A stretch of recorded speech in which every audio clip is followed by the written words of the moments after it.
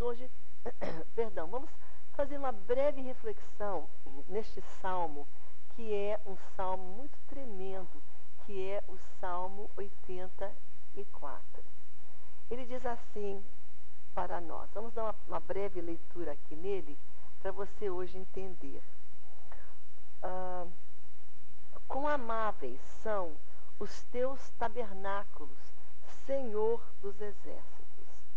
A minha alma, ela suspira e desfalece pelos átrios do Senhor. O meu coração e a minha carne exultam pelo Deus vivo.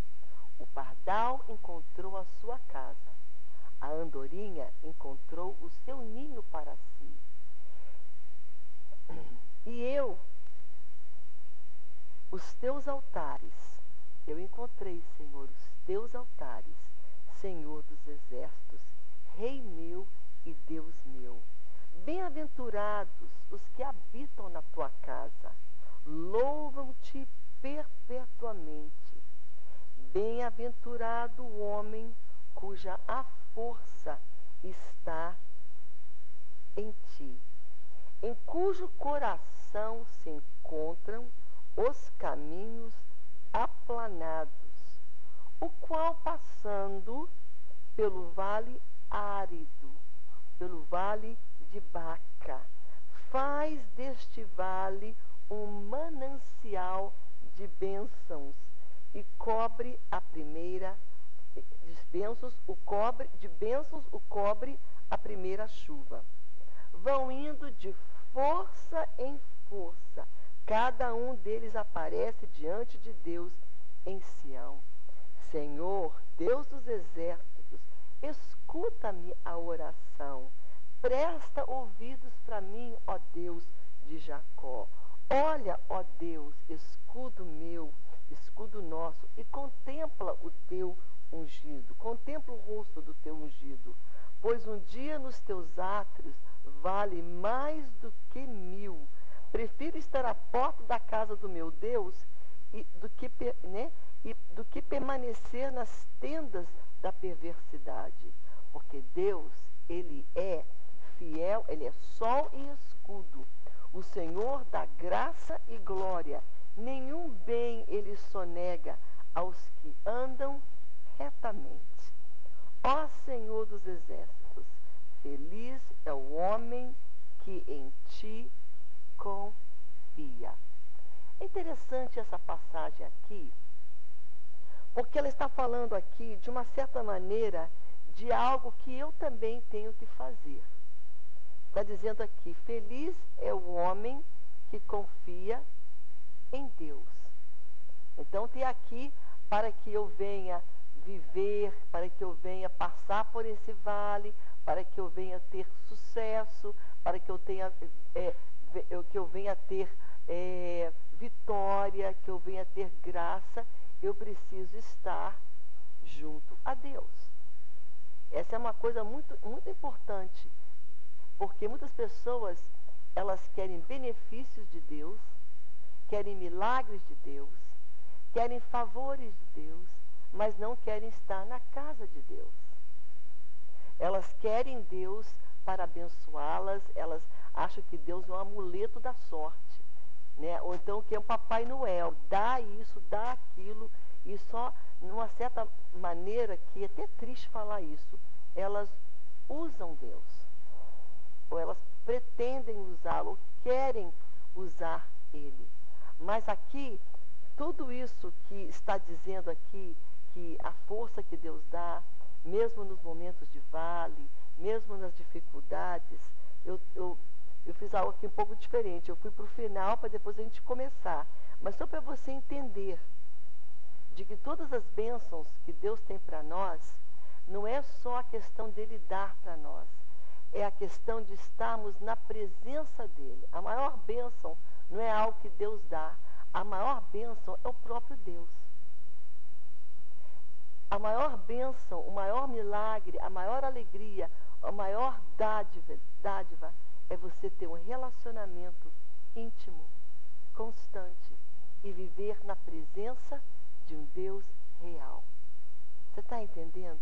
por isso que ele garante aqui que quando essas pessoas estiverem passando por momentos de adversidade, eu vou dizer algo para você hoje. Não quero ser uma profetisa do mal, mas eu vou dizer uma, vez, uma voz profética. Todos nós vamos passar por momentos de adversidade. Se é que você já está passando, ou tem passado, ou irá passar. Tem pessoas hoje com quem o Espírito Santo está falando agora, que estão passando num vale. Tem pessoas que já passaram por um vale. E tem pessoas que vão ainda passar por adversidades maiores.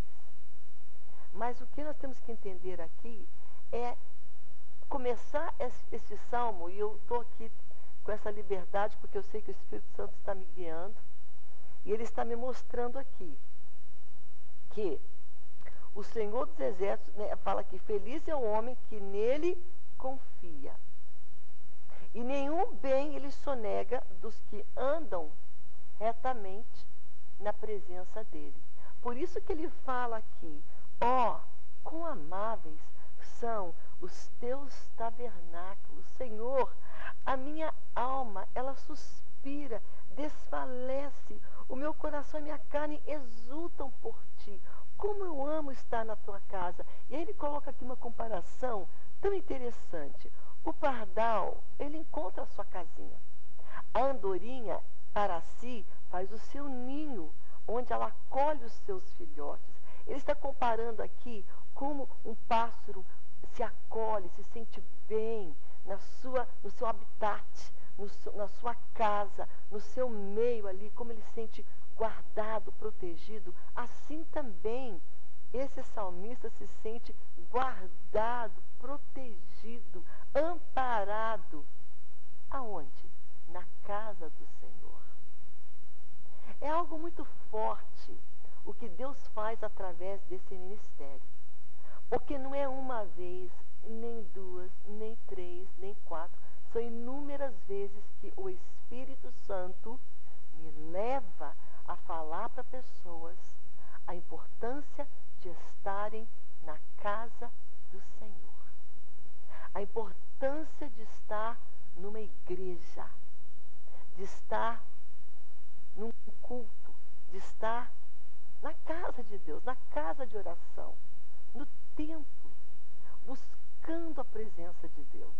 E quando você está na casa do Senhor, você tem toda a possibilidade de Deus falar com você, de Deus tratar você, de Deus levantar você, de Deus libertar tua alma, curar você, restaurar você e a tua família. Porque você estando na casa do Senhor, você estando bem, posteriormente tua família virá.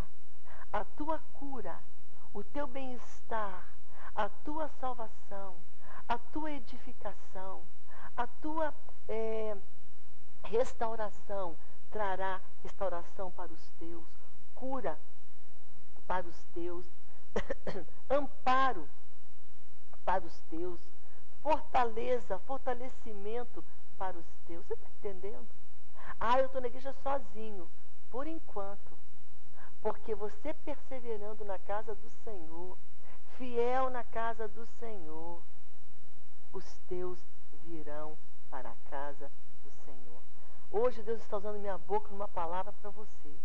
Não saia da casa do Senhor. Mesmo que a tua família não esteja com você. Eu estou falando, mas eu tenho orado, eu já tenho pedido, eu estou só, eu vou domingo, eu vou terça, eu vou outros dias, eu estou ali. Me parece que eu tenho, falta alguém do meu lado no banco. Pode estar faltando agora. Mas se você permanecer fiel, Deus vai tratar aqueles por quem você está orando. E aqui o salmista está falando, sabe, o pardalzinho, ele encontrou um lugar de refúgio, um lugar que ele sente bem, a andorinha também. E aí o salmista fala, mas eu também encontrei um lugar onde a minha alma se sente em casa, aonde a minha alma pode se render ao senhorio de Deus, onde ela pode chorar, aonde ela pode levantar as suas mãos e adorar a Deus, aonde ela pode achar refúgio, força graça, misericórdia, tudo isso nos átrios. Por isso, Deus está falando com você hoje. Eu não sei se você está distante da casa do Senhor, se você tem dado um tempo, se você está, como dizem as pessoas, desviado do caminho que Deus tem para você seguir e você optou por um outro caminho. Deus está falando com você hoje. Volte para a casa do Senhor. Lá é o lugar onde a tua alma vai se sentir em casa, vai se sentir bem, vai se sentir amparada, vai se sentir restaurada, vai se sentir forte, vai se sentir que tem esperança. É o lugar aonde Deus quer que você esteja. Por isso ele, ele, esse salmo aqui é escrito pelos filhos de Corá, mas inspirado por Deus. Porque toda a escritura é inspirada. E Deus está usando então ele para dizer, olha, você vai se sentir bem, a tua alma, o teu coração, sabe? E interessante que a casa do Senhor é um lugar de paz. Quando eu vou na casa do Senhor, eu sinto a paz que sobrepõe todo entendimento, mesmo que eu esteja passando por um momento de vale. Mesmo que a minha família, o meu lar, esteja passando por adversidade. A casa do Senhor é uma casa de paz. E lá Deus trabalha essa paz. E lá Deus fortalece teu coração em paz. Porque Ele sabe que você está passando por um vale. E você precisa de um lugar eu quero olhar para você bem perto hoje e dizer algo para você. Está nesse momento ligado aqui. Neste ministério da palavra. Você que está passando por momentos difíceis. É muita coragem tua, nesse momento de dor, de angústia, não estar na casa do Senhor. Porque com Deus nós já passamos por vale e dificuldades. Agora, sem Deus, é impossível ter uma vida de vitória. E aqui, esse salmista fala com a vontade, com bem, ele sente, sabe? É que nem um passarinho que se sente bem no seu ninho. É igual aquela andorinha, né? O pardal encontra a sua casinha, a andorinha, o seu ninho com seus filhotes, e eu encontro o meu lugar nos teus altares. Bem-aventurados os que habitam em tua casa, louvam-te perpetuamente. Não está falando aqui o infeliz, não. O coitado, não. Está falando bem-aventurado, abençoado. É o homem que está na casa do Senhor. Ali ele encontra Deus. Ali encontra solução. Ali ele encontra força para prosseguir. Interessante como esse salmista começa falando sobre a casa do Senhor, porque ele vai mudar um pouco aqui. Você vai ver que o assunto vai começar aqui a andar por um outro caminho. Ele está dizendo: Olha, eu tenho saudade desse lugar. O que parece aqui é que ele está um pouco, não que ele queira estar distante, é que a circunstância pode ser uma guerra, um momento de solidão, uma dificuldade, levou ele no, no lugar onde ele não pode estar na casa do Senhor. E aqui ele está como se fosse com saudades, querendo, dizendo: Olha, a casa do Senhor é um lugar de refúgio, um lugar onde a minha alma se sente em casa. É um lugar onde quem está lá é bem-aventurado. É um homem próspero na sua alma. Sabe, hoje Deus quer que essa paz venha no teu coração.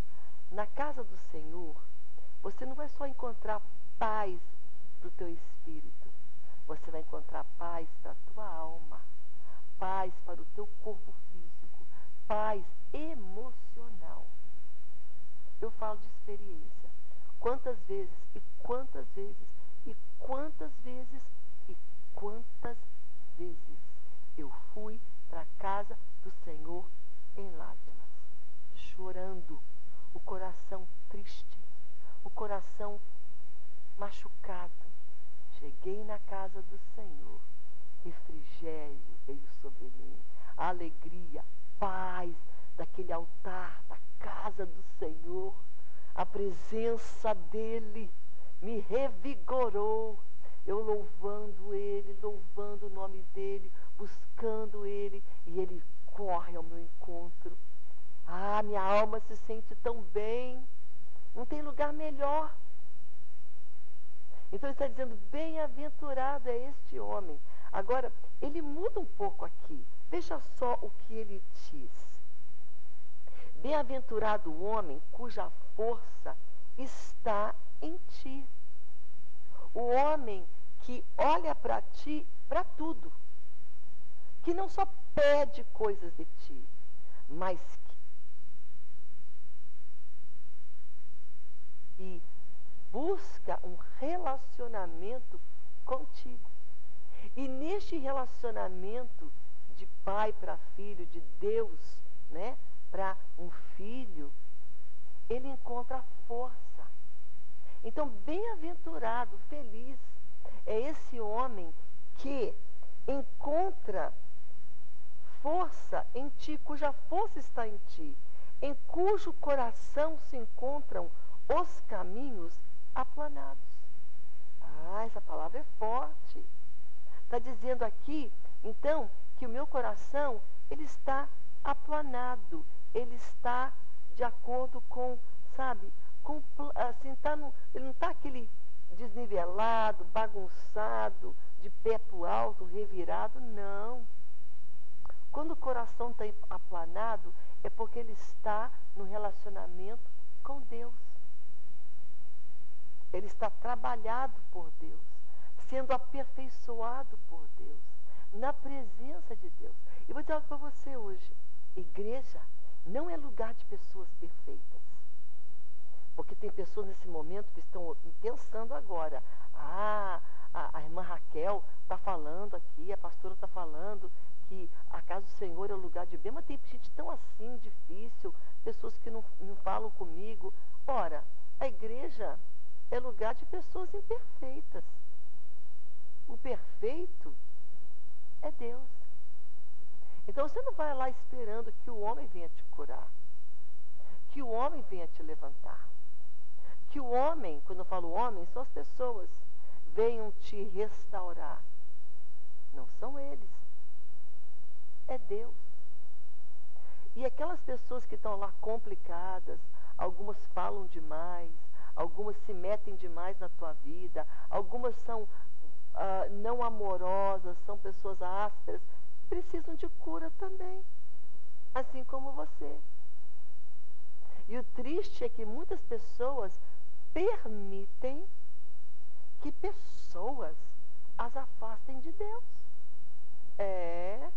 Tem pessoas que vão para a igreja e alguém não olha para elas, não trata elas, não concorda com elas, compete com elas, há uma, uma rixa, uma dificuldade, e aí elas falam, eu não vou mais para a igreja. Porque fulano falou, fulano fez, fulano olhou. Então você está dependendo da igreja por causa daquela pessoa? Você está permitindo que uma pessoa que é pó, como você e eu, pó, venha te tirar da presença de Deus?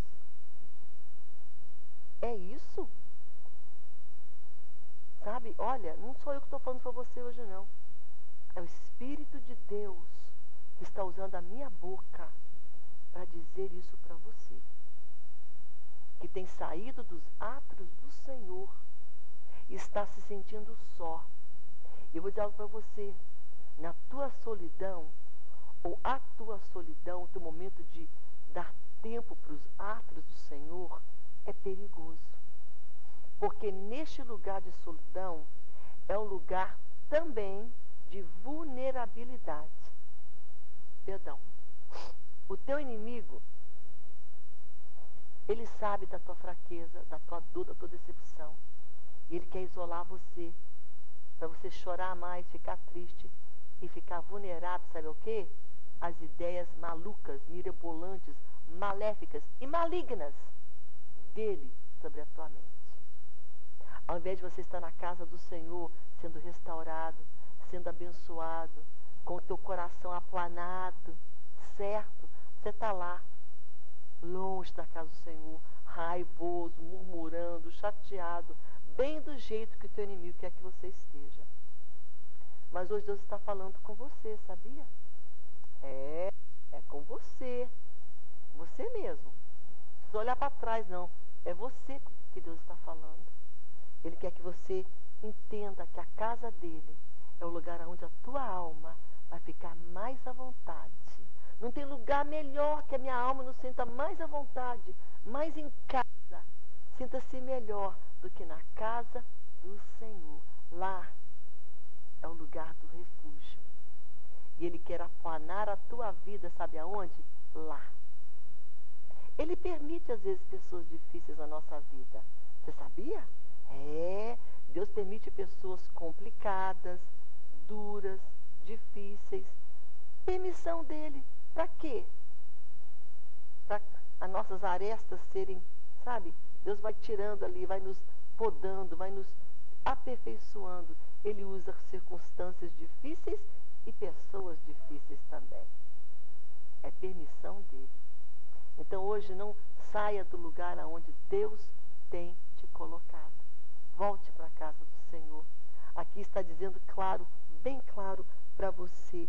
Bem-aventurado o homem cuja força está em ti, está na tua casa, em cujo coração se encontram os caminhos aplanados. O coração está aplanado, o coração está junto com Deus, o coração está em obediência a Deus. O coração, mesmo passando pelo vale, passando por tristeza, passando por dor, por decepção, está em reverência, obediência e submissão a Deus. É isso que Deus quer para você hoje, sabia? Deus está usando esta palavra para alcançar teu coração. O que, que você vai fazer com essa palavra? Deixar entrar aqui e sair por aqui? Ou deixá-la entrar e guardar no teu coração e fazer uma mudança dentro da tua vida? É isso que Deus quer para você hoje. Deus é um Deus de planos e propósitos. E esses planos são para nos mudar, para nos melhorar, para nos levantar. Não para deixar a gente igualzinho. Você está aí assistindo, vai sair igual. Não. Deus não quer isso para você hoje. Se você está sendo exposto a essa palavra, é porque Deus quer mudar algo na tua vida. Mudar um pensamento, mudar uma atitude, mudar algo importante dentro de você. E o que muda isso?